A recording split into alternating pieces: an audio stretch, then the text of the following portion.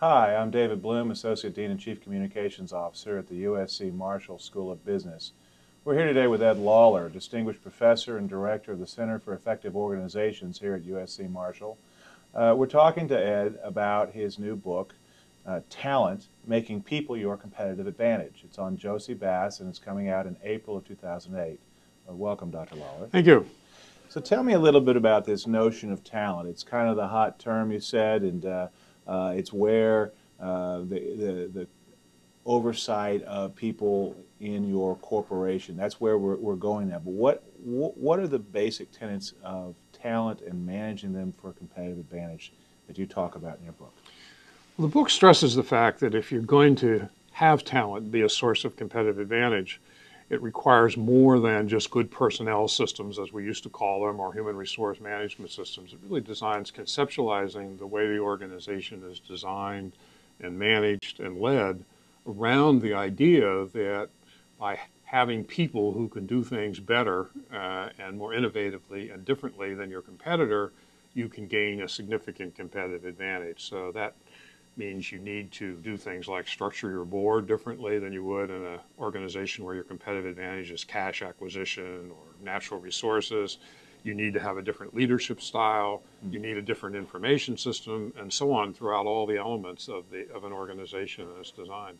So your book is mostly targeted for top level managers and board members. Is that correct? It's targeted at people who think about, worry about, and do organization design, uh, management, structure creation, okay. organization creation.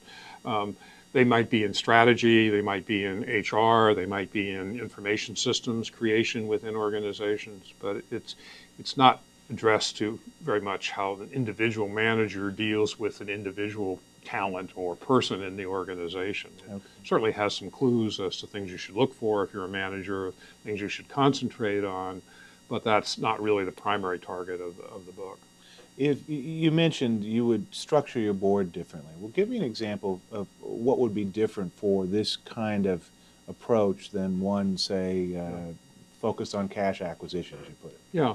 Well, certainly the most obvious one is is the expertise on the board. Um, many CEOs uh, state that human capital, human assets are our most people are our most important asset. Uh, we value them, uh, et cetera, et cetera, et cetera. We've all heard the uh, those little speeches, and we've all read annual reports where there's a picture of a smiling employee and a statement that here's our most important asset, et cetera.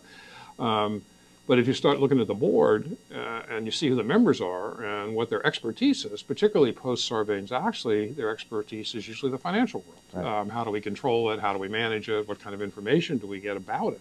Right.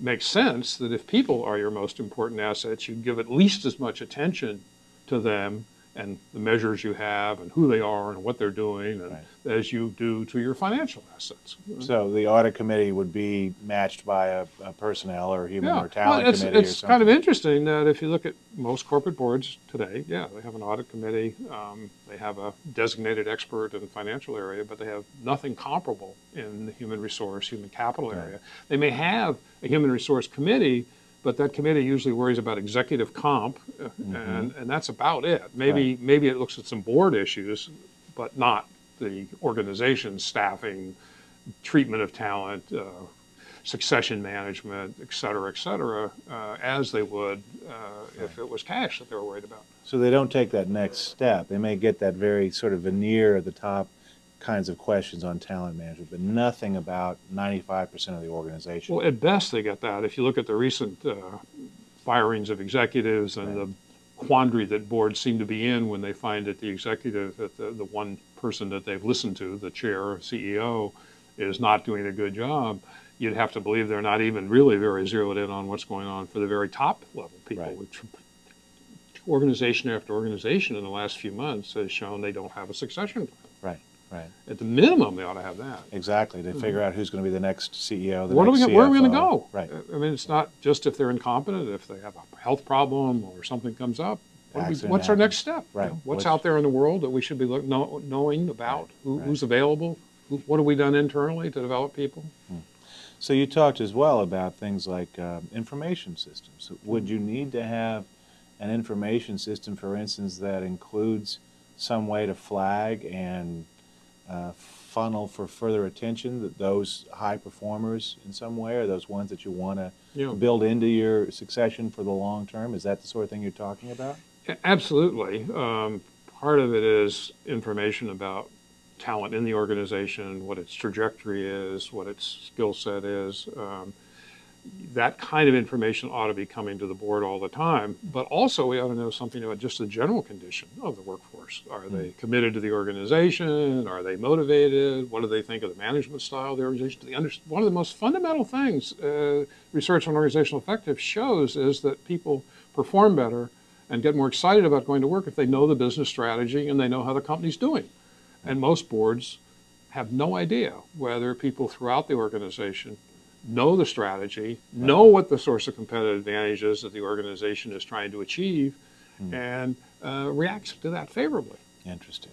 So there, there's a, a whole bunch of stuff that companies can do, uh, but they've been very slow to come to this. It would seem to me that this um, is particularly interesting uh, to happen at a time when more companies than ever are about knowledge, about uh, uh, intellectual capital, Yeah. human capital, as opposed to physical capital or money or anything else. They leverage based on who's coming in the door and going up the elevator every year, every day. Yeah, it certainly the idea of talent being a source of competitive advantage is not new, um, but over the last decade, two decades maybe, in particular, the percentage of a corporation's asset that is falls into the intangible category Right. has skyrocketed to the point where, for most large corporations, as much as 80% of their market value is a reflection of things that aren't being publicly reported uh, as assets of the company the, the knowledge, the intellectual capital, the people, and the brand. So it's not, it's not all just people and their ability to work together, Right. but that's an important part of the asset value of companies, more and more so. It wasn't when we had a lot of manufacturing jobs uh, where machine tools and plants and equipment and so forth were the major asset. It probably made sense to focus on those assets in that era. But that era is over. We're not a manufacturing country, at least in the United States anymore. Exactly. Mm-hmm. You mentioned uh, talent is the scarcest resource right now in our previous conversation. What did you mean by that?